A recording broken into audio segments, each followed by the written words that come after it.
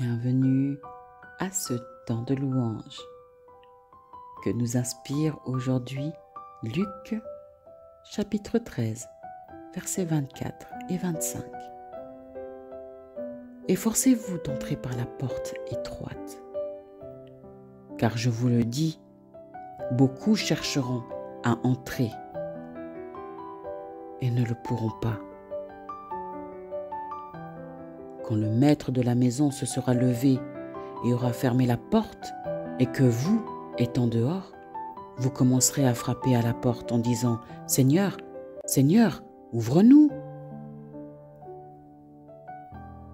Il vous répondra Je ne sais d'où vous êtes.